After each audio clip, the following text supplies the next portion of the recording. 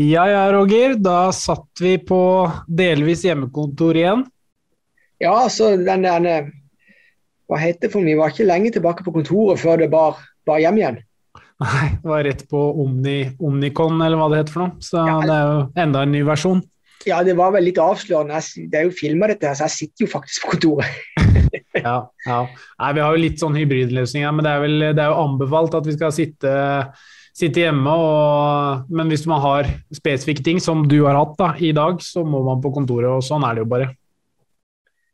Det må vi. Ja.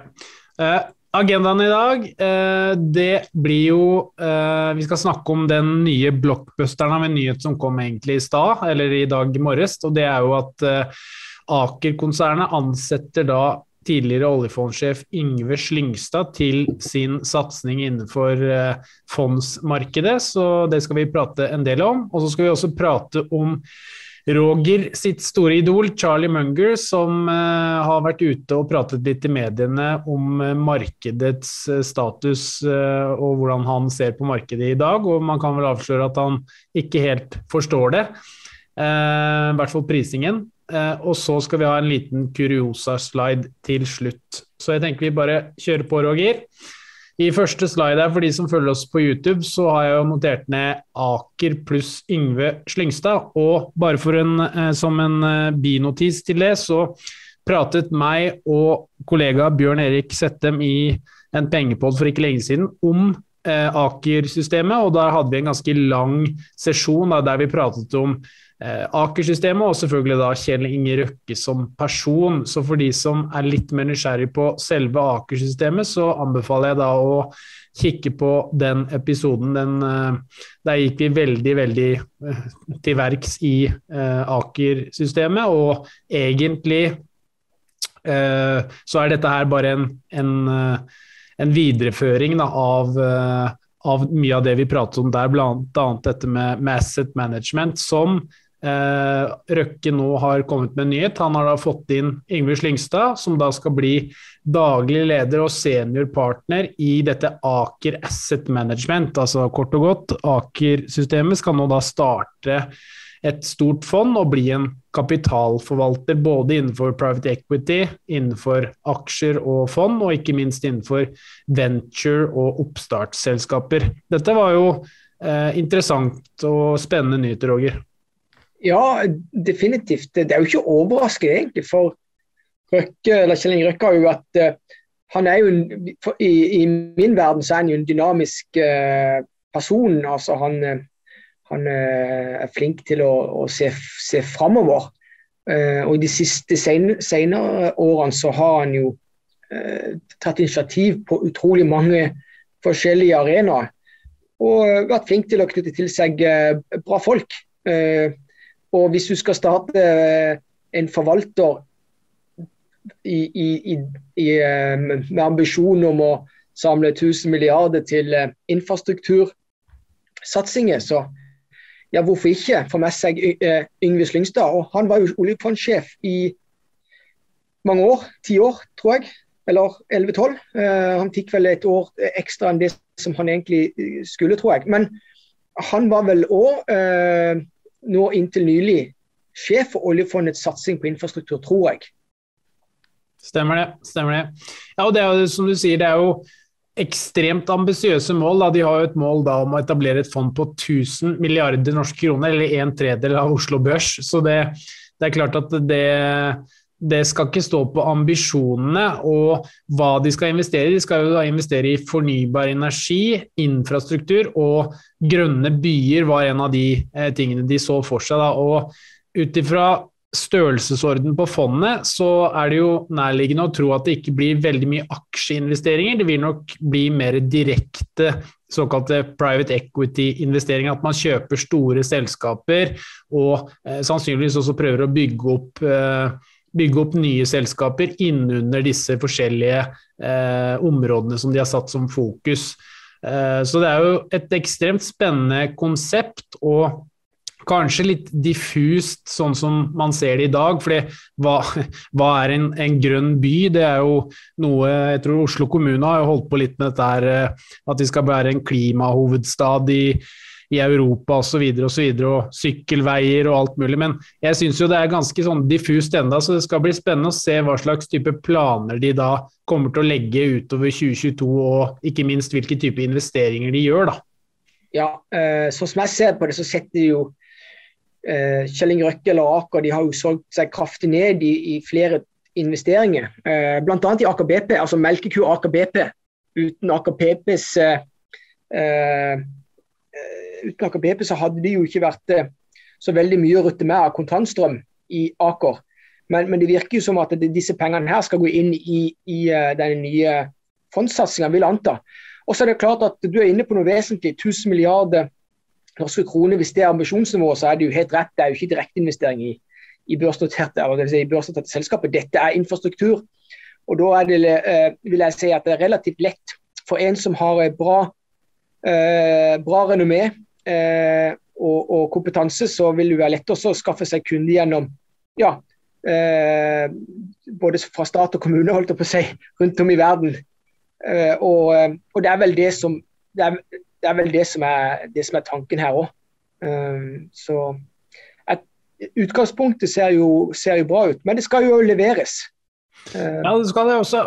Men det er jo veldig interessant å se Aker-konsernet generelt, da, som har vært et oljetungt og fortsatt er et oljetungt uh, konsern, uh, skal virkelig vri seg om nå da, til å bli en mer fornybar og en mer Eh, teknologidrevet organisasjon. Altså det er jo helt klart, som du sier og var inne på i innledningen, Roger, at han er jo Kjell Inge Røkke er jo en dynamisk person, og han har jo åpenbart et veldig dynamisk og et dyktig team rundt seg, som da klarer å eh, tenke langt fram i tid, og ikke minst da prøve å være en early mover innenfor disse, det nye Eh, bransjene da, og nye forretningsområdene som kommer til å poppe opp framover.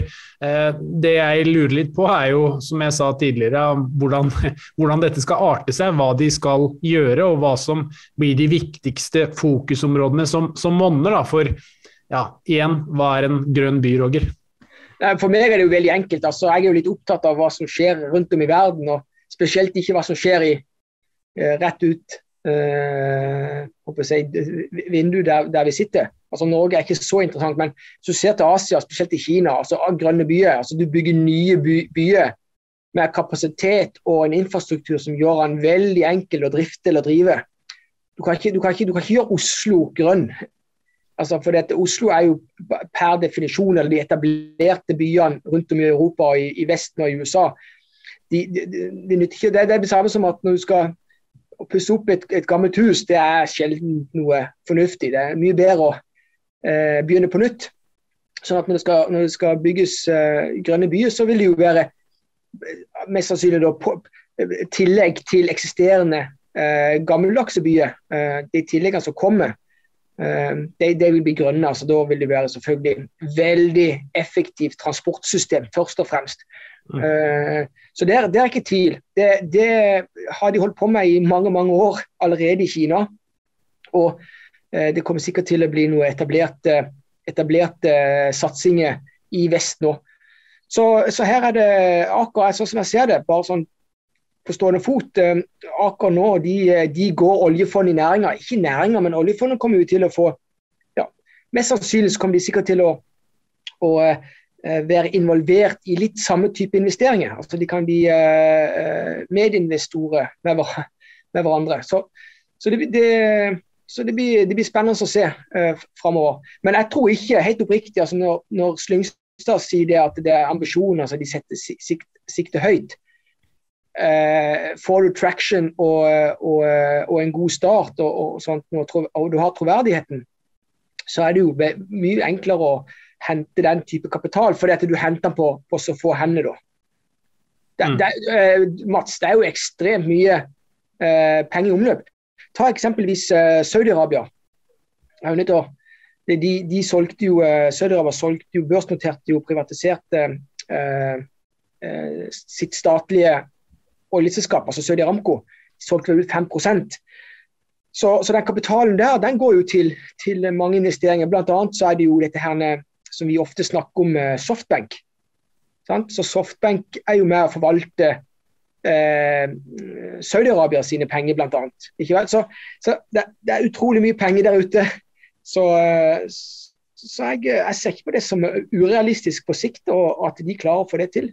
Nei. Jeg er helt enig, og det er jo klart at både Røkke og Røkke-systemet har jo politiske kontakter, og det har jo ikke minst Yngve Slyngstad eller uh, Yngve Slyngstad også uh, på, på, bred front, som du sier. Så pengene kommer nok sikkert inn. Um, men det blir jo spennende å se på Aker 2.0, for å kalle det det, hva som kommer til å skje framover. Nå har vi jo sett et nedsalg i i melkekua si Aker BP. De satser mye på teknologi og bærekraft innenfor disse eh, nye satsingene sine. Aker Offshore Wind, Aker Carbon Capture. De har jo en sånn såkalt unicorn, et selskap eh, som da er verdt en milliard dollar utenfor børs, altså Cognite.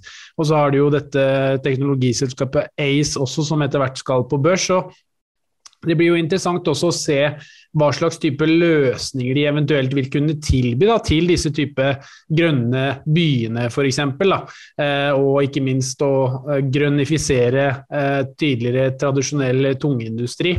Så eh, jeg syns jo det er ekstremt spennende å se hva Eh, altså dette fondet, selvfølgelig hva de skal investere i, men ikke minst hva selve Aker-konsernet med disse nye satsingene også skal kunne tilby da, disse typer forretningsområdene. For jeg antar at de har en plan også på at de skal investere i sine fond, men også at de også skal kunne tilby mye av de samme produktene med disse nye selskapene innenfor disse eh, fokusområdene. Da det er jo litt av styrken til, eh, til eh, Aker-systemet. At de, eh, de, har så mye totalkompetanse i alle disse porteføljeselskapene. Og, og det sier seg selv at det vil jo bli oppdrag på kryss og tvers her. Det er det ikke tvil om. Altså når det kommer til, til, til, bygging av infrastruktur. Så, så, jeg tror det er det de ser på. Altså de har en, en, liten fordel, eller kanskje en stor fordel i forhold til mange andre, når de velger å gå gå i den, uh, i den retninga. Men uh, så jeg tror ja, For meg virker det som at de nedsalgene som, som Aker-systemet har gjort i det siste, det, det, er, det skal nok inn her i, i, i denne satsinga. Mm. Men Roger, jeg tenker på en ting. Du kjenner jo både Aker-systemet og ikke minst Fredriksen-systemet veldig godt. Nå ser vi jo en industrikonge som, eh, som Kjell Inge Røkke er, eh, satser veldig hardt og er veldig dynamisk og kommer med nye ting hele tiden. Vi har jo glemt helt å snakke om denne som vi pratet om litt tidligere med med SalMar Aker offshore, dette, denne offshoresatsinga innenfor laksenæringen også, som også er spennende. Så de, Han har jo åpenbart ekstremt mye jern i ilden, eh, godeste Kjell Inge Røkke. Men jeg tenkte på Fredriksen-systemet også, for der har de også bygd et eget fond og egne forvaltninger. Men, men, det virker mer til å holdes mer internt, at han skal forvalte sine penger. Mens Røkke går nok mye mer public til verks da, enn hva, hva Fredriksen gjør. Tror du han kikker, litt, kikker, seg litt over skulderen og titter litt på hva Kjell Inge Røkke gjør, eller tror du han kjører sin egen greie? Og Jeg er ikke i tvil om at de følger hverandre tett. Nå har de jo historisk sett ikke vært eh, eh veldig glad i hverandre. Men, men, eh, nå har de jo hatt fellesinvestering i en periode gjennom da har sagt, Det har ikke vært så veldig suksessfullt. Altså, de slo jo sammen eh, denne satsinga som nå må du, nå må du Sol, Solstad Farstad. Solstad Farstad, ja. Eh, mm. Men der var, vel, der var det vel ingen som kom, eh, kom greit ut av det. Så, så, jeg vil si at Aker sin satsing er jo i et helt, helt annen liga. Altså, Det er jo mye mer offensivt enn det, det er for Fredriksen.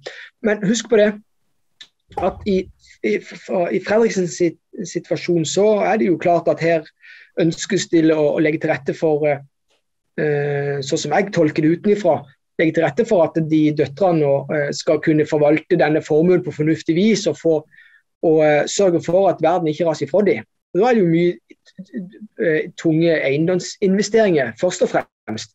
Og så er det han tidligere toppforvalteren i Odin som, som gjør litt av det samme her og skal prøve å hente ekstern kapital på å forvalte forvalte både mm, formuen til, til, Fredriksen og ikke minst til, til andre vel, velstående uh, investorer. Så de, de, er nok litt i samme bane, men jeg vil si dette er jo en helt annen Dette er jo en helt annen uh, Dette er jo en offensiv uh, i, i, forhold. Ja. Nei, det er jo litt Men det er det jeg liksom har lurt litt på, for at når man da begge to eh, etablerer sånne Eh, ja, offentlige fond, for å kalle det det, da, så, så, er det interessant å se at eh, Aker kanskje strekker den litt lenger og kanskje går litt mer ut på den samfunnsmessige eh, skalaen da, og prøver å bidra til at verden direkte blir bedre via investering i kapital og ikke minst manpower, mens Fredriksen på sin side kanskje holder det litt mer privat, selv om han er ja, innenfor mye av de samme eh, tankerekkene med sitt konsern, da, men eh, ja, så det ja, men, men, Mats, men, Mats, jeg må bare skyte inn det. Det er jo, la det være sagt, det som skiller eh, Eller det som er likheten mellom, eh, mellom eh, Fredriksen og Røkke, det er det at fra starten av, altså fra ung alder, så har de vært veldig eh, De har vært villige til å ta skyhøy risk, begge to. Så, men så har de jo valgt etter rikdommen da ble, ble, etablert, eller formen ble etablert, så har de jo da i valgt to vidt forskjellige strategier. Mens Kjell Inge Røkke har eh, bygd et stort apparat som, som, kanskje i mange tilfeller er veldig tett knytta til, eh, til, til, politikk. Eh, så har jo eh, Jan Fredriksen gjort det stikk motsatte. Så, så, så, her er det jo Når det kommer til infrastrukturbygging og sånt, så, så er det jo klart at da må du jo ha tillit eh, da må du ha politisk tillit òg. Mm. Um, så det har, eh, det har jo Kjell Inge Røkke da, som iallfall brukt, brukt mye ressurser i å, i å uh, opparbeide seg. La det være sagt. Jeg, jeg, tror jo han Øyvind Eriksen Han er vel i dag Norges soleklart best betalte toppleder. Jeg, jeg, tror han er altså, det er Uten han så tror jeg ikke nødvendigvis Eh, det hadde blitt gjort så, så mye. Altså, så jeg tror han eh, har vært god å ha for, eh, for Kjell Inge Røkke.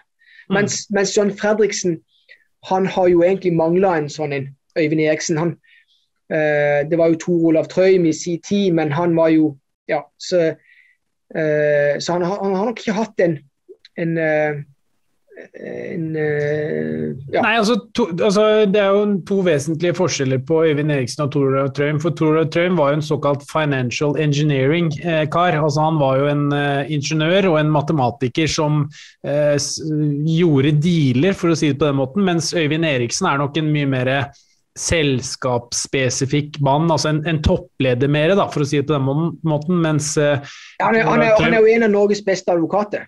Altså, ja. Ja. Og det er klart at med det utgangspunktet så er jo, det er jo en alfa og omega å ha en sånn ressurs i, i et uh, konsern som, som Aker. Så, men ja, vi har jo hatt, jeg kan jo reklamere litt for det, vi har jo hatt, de, de har vel hatt alle Aker-selskapene i studio.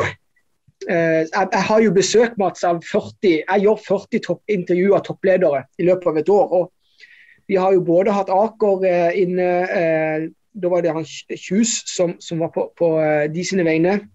Så har vi hatt en prat med, med Christian Røkke i Aker Horizon. Vi har hatt uh, besøk av uh, sjefen i Aker Carbon Capture. Vi har hatt besøk av sjefen i Aker Offshore Wind. så vi har liksom ja, av, de, ja, av, de 40, av de 40 du har hatt inne, så er vel omtrent 20 av dem snart Aker-selskaper, Roger? Det, jo, det, forteller, det, forteller om, det forteller litt om omfanget til Aker sånn som det er i dag. Og og, og, for å få det til, så er jo det La det være sagt, jeg liker jo å snakke om mote og sånt nå. Uh, jeg, har jo, jeg, har jo, selv en interesse i, uh, i, uh, i Aker BP. Så, men, men, det er viktig når du bygger mote, så, så, er jo helt klart at, at totalen her, altså den informasjonsflyten som Øyvind Eriksen sitter med som toppsjef i, i Aker, så den, den er stor, altså. Den er betydelig. Eh, jeg har jo sagt litt sånn for Det er jo ingen sammenligning for øvrig, for det er jo ingen som kom i nærheten av, av Buffett på å bygge en gigant. Altså Han bygde jo et halvt oljefond på egen hånd. Det har aldri, aldri skjedd i historien at det blir skapt så mye verdier under én person. Men informasjonsflyten til, til, Berkshire gjennom alle de porteføljeselskapene som Berkshire eier Husk, Berkshire, halve Berkshires verdi den er selskapet som de eier, som aldri har vært på børs. De har vært privateid hele tida. Uh, og Det er jo den samme informasjonsflyten som i utgangspunktet Øyvind Eriksen er. og da er spørsmålet, Klarer du da å utnytte det? Og Det, det, har, de jo, det har, de jo, tydeligvis vært, vært gode på. Så uh, jeg tror gjerne at uh, John Fredriksen skulle òg Han har jo vært Norges rikeste med stor margin i mange, mange år, John Fredriksen. Men det er jo en kjensgjerning at, at eh, det er altså formuen til, til uh, Fredriksen den har ikke beveget seg veldig mye de siste 10-15 årene. Um, sånn at, um, ja. Så jeg, jeg, tipper det. Jeg tipper de, de, de, ønsker sikkert kanskje å satse mer på den der forvaltningsbiten i, i Fredriksen men, men nok en gang så vil jeg, vil jeg si dette her er jo en, dette er jo en annen divisjon. Mm, mm. Ja, og så er det jo det med Fredriksen er at det er jo veldig syklisk involvert. Da. Det har jo riktignok blitt litt bedre med tiden, men det er jo fortsatt store eierposter i Golden Ocean, eh, Frontline, eh, Flex LNG eh, osv. Så, så, videre. så det er veldig sentrert rundt den sykliske næringen. og eh, i mindre grad nå rigg, riggmessig, men han har jo en del engasjementer der i Norton Drilling og i, i Seadrill. Ja, det som er greia her, altså Når du satser på infrastruktur, timing er jo perfekt. altså bare for å si det rett ut, Alle disse herrene store eh, kapitalformuene som er på organisasjoner på, på, på, kommunal basis eller på statlig basis, de får jo ikke avkastning. Oljefondet f.eks., altså obligasjonsporteføljen, der kommer ikke til å gi realavkastning. Ikke vel? Og, og da hva er next in line? Jo, det er, det er privat kapital i infrastruktur. altså hvor du kan komme til Så, så i utgangspunktet pga. Eh, situasjonen, altså det er, det er, ikke vekst, vekst- og inflasjonsimpulser i store deler av verden, mm. så, så, bør det være lett å hente kapital hvis du har riktige, riktige folk, riktig navn, riktig eh, brand og riktig ja, troverdighet. Så ja, altså det, det, du sier der, Roger, det kommer jeg på nå. Det er jo perfekt timing sånn sett. Det har helt sikkert Aker-systemet tenkt på også. Uh, Joe Biden har jo fått stemt, gjennom denne uh, Green New Deal i USA nå, der de skal ruste opp infrastrukturen rundt omkring i de amerikanske byene. Og det er klart, uh, Der er det sikkert mange oppdrag opp for grabs da, som betales, betales godt. så det er nok, og Det samme skjer jo i Kina, India, Eh, delvis i Europa også, så det er jo klart at eh, det er nok eh, et enormt behov framover i tid, spesielt når du kan eh, kalle det skimte litt med da grønne investeringer, da, som er veldig eh, lekkert hvis du da sitter som politiker og kan si at du har gjort masse investering innenfor grønn og fornybar energi eh, for å ruste opp ditt respektive land. Da. Ja, Nei, Nå får vi bare håpe at ikke, at ikke Slyngstad tapper, tapper avdelingen til, no, til, Norges Bank. da. for, for, det er jo, jo naturlig at han sikkert tar med seg noen derifra. Det er, og det er fine. Sånn, sånn, sånn fungerer markedet. Men det, det jeg skulle eh, Det jeg skulle til å si ligge, eh, Skal dette legges under Aker Horizon?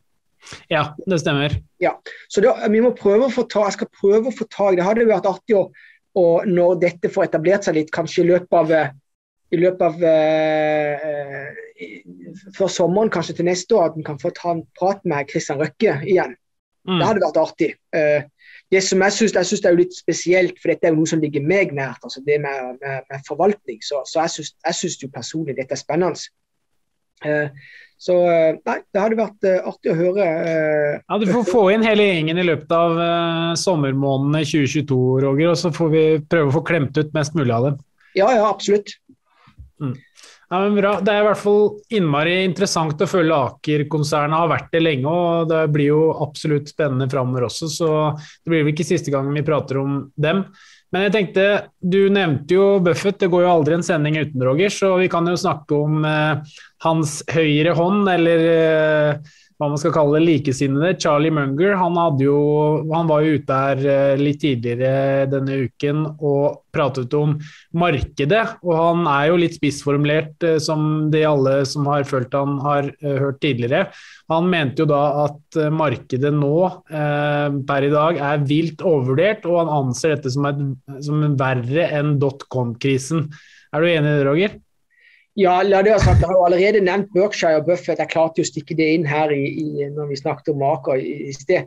Ja, ja. Uh, du vet, Både Buffett og Munger de, jo, de, de har en ting til, de har, de har i alle fall én ting til felles. Det er en enorm kapasitet til å tilegne seg ny informasjon, kunnskap. Sånn? Så, men Personlighetsmessig så er det ikke helt i samme gate. Så, så du har rett, rett, i det at Charlie Munger er litt mer outspoken, Uh, mens Buffett er kanskje mer uh, diplomat. Eh. Og jeg får jo med meg eh, alt som, som, de to eh, uttrykker, da. sånn at det, det, du skal ha respekt for, sånn generelt sett Og jeg, jeg kaller meg jo sjøl Buffett junior. Ikke vel, jeg er 42 år, og det høres litt vilt ut.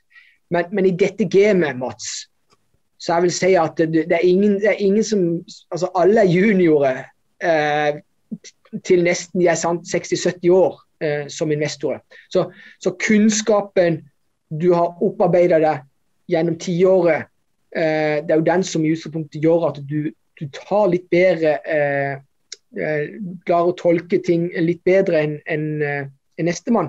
Og disse her to her, altså Charlie født hva er det, 1924. For øvrig 1.1. Visste du det? Nei, det visste jeg ikke. Jeg antok at du visste det. 30. august 1930, det er jo det er jo det er Buffett. Sånn at de har vært igjennom oppturer og nedturer, oppturer og nedturer. Klima med høy rente, med lave rente, og altså inflasjonspress og alt det ene og det andre. Dotcom-bølger, de har vært bobler og eh, smellen i 87 og elendighetene på 70-tallet. Så alltid ha respekt for eh, visdom når det kommer til investeringer og til, til markedet. Så, så, disse to de, de, er faktisk, jeg vil si de er nummer, altså det, det, det, er kanskje de to på hele kloden som har mest erfaring som investorer.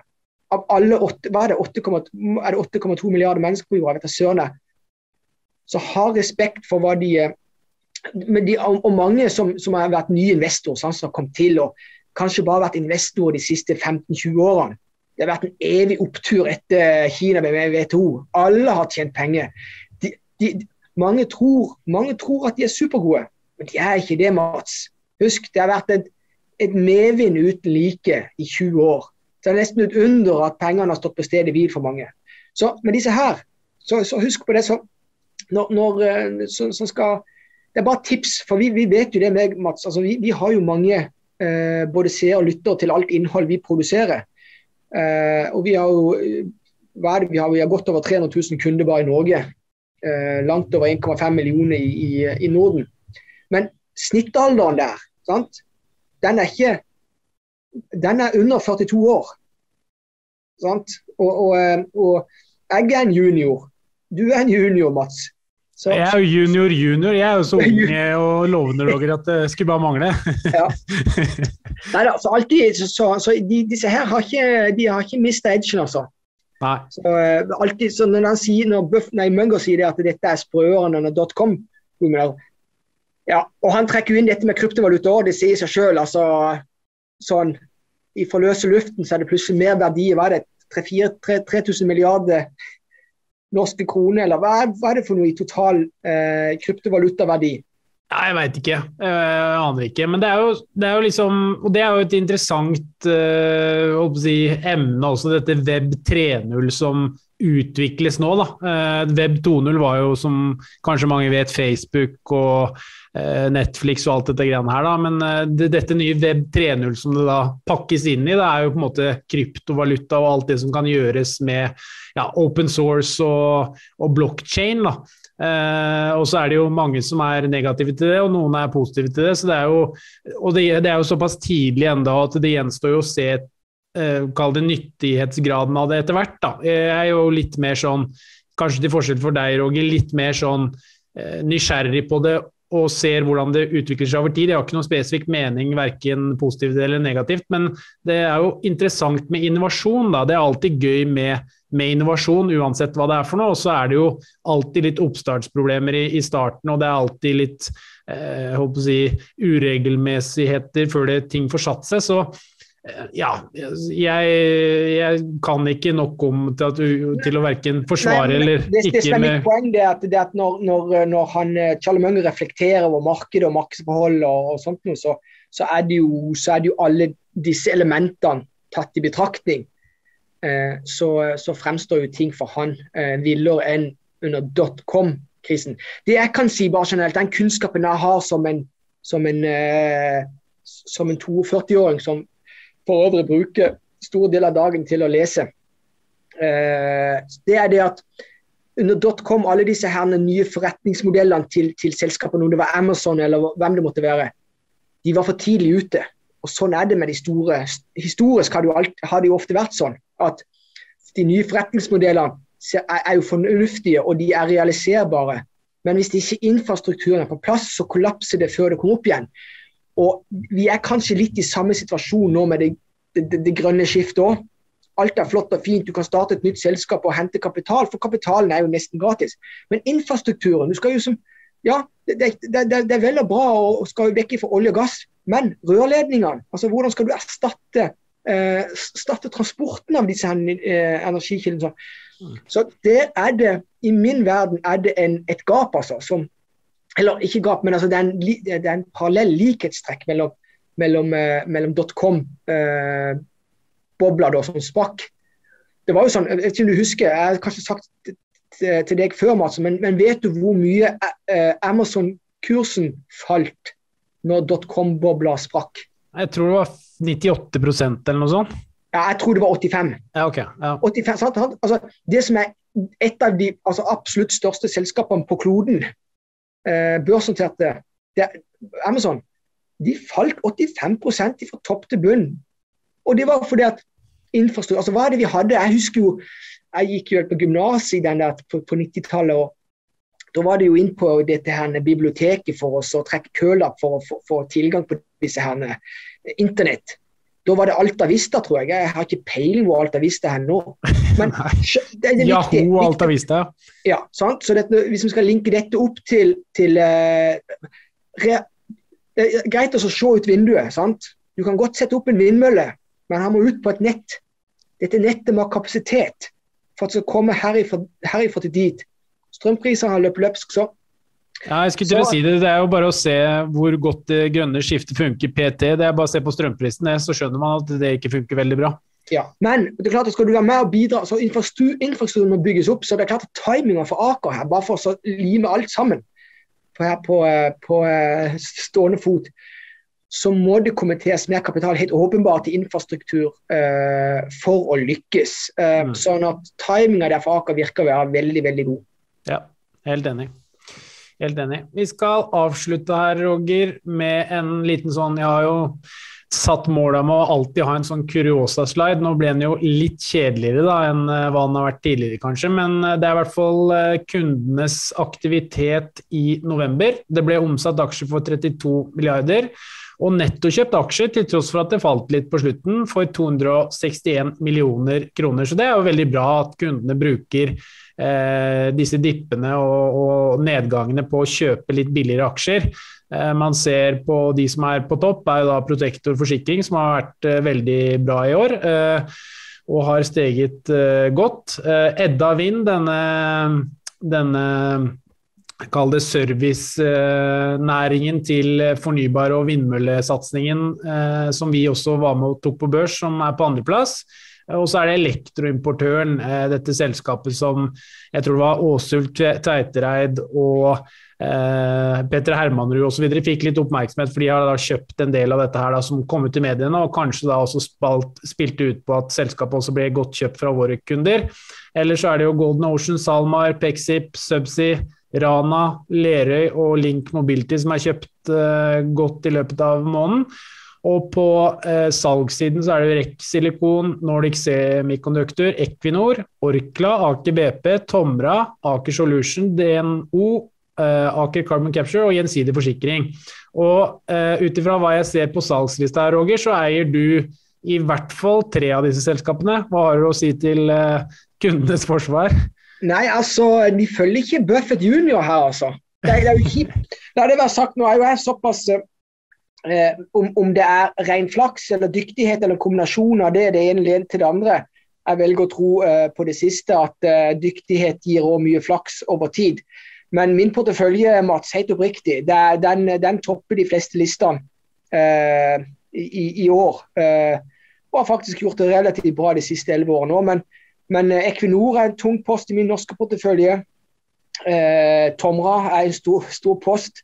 Så, så, dette er I min verden er det kvalitetsselskap. Men det er klart at sånn som er det, altså, vi har mange kunder eh, som kjøper og selger hyppig. Det kan være enkeltkunder som står for brorparten her, det vet vi jo ikke. Eh, men, men, ja, jeg, jeg, jeg syns jo personlig at ikke det er bra. Men, men hvem vet? hvem vet hvem som får rett? Eller så kan du se det på motsatt side. Edda Wind, elektronportøren Golden Ocean. Dette her er jo dette er vel alle øh, øh, øh, Jan Fredriksen-selskap, er det ikke det? Jo, det stemmer det. Uh, og det er jo selskaper som har gjort det veldig bra i år. Altså shippingselskaper og, og, og liksom, ja, elektroimportøren for så vidt også. Selskapene er jo uh, per i dag har jo gode marginer og har gjort det godt uh, gjennom egentlig hele 2021. Da. Så det er jo absolutt gode selskaper på den siden også.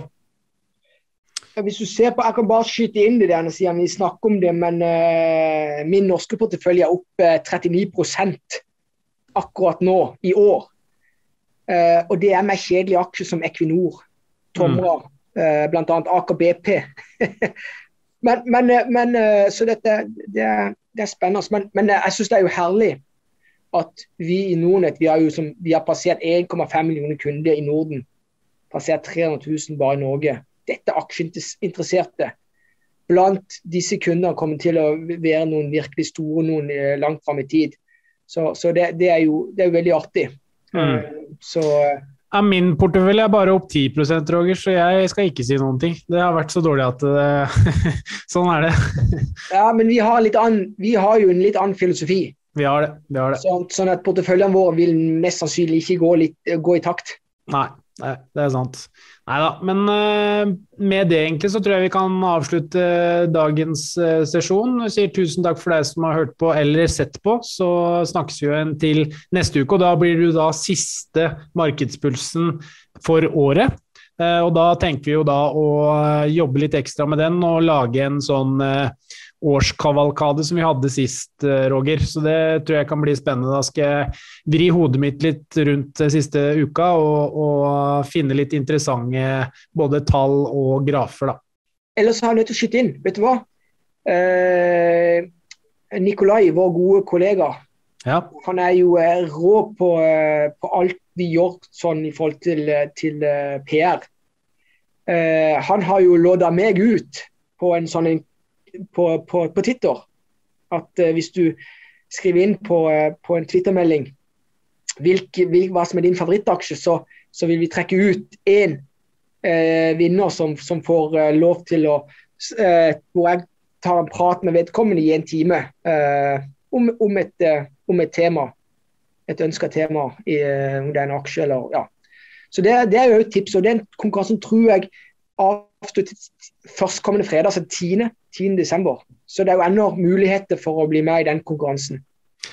En times prat med deg, og så avslutter du med litt plystring og sang. Der. Roger, du er jo så god på det. Ja, altså Buffett har jo den der, Han spiller jo på sånn den eh, Ja, jeg vet ikke hva den gitaren heter. Men, ja, banjo? Ja, det er jo ikke banjo, men eh, sånn at eh, jeg det var litt, det, det, Nå reflekterer jeg litt tilbake til barndommen. Min bror eh, er jo musikalsk. og jeg husker, Han er to år eldre enn meg, så vi har jo alltid hengt i hop fra starten av. Men han begynte å ville spille gitar, og så spurte han om jeg ville være med. Så jeg takka ja, så jeg var med og spille og lære gitar på hans første eh, øvelse. Eh, han ble jo god til gitar. Jeg, jeg stoppet etter første. Jeg kan, vet du hva? Jeg, jeg kan ikke matche. Jeg, jeg, jeg, dropper alt som heter med musikk.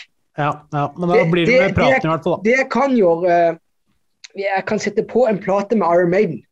Det er ja. mitt, min, min, favoritt. Det er Iron Maiden. Ja, ja men bra. Ja, men Det er spennende. Da, da, har vi også det i mente at det er bare å delta på den konkurransen på, på Twitter, antar jeg. Ja. Og sikkert på de andre sosiale mediene også, så får dere en prat med Roger, og kanskje en liten trall òg, hvis han er i form. Det får vi se på. Ja. Så med det så sier vi takk for denne uka, og så snakkes vi igjen neste uke. Ha det bra.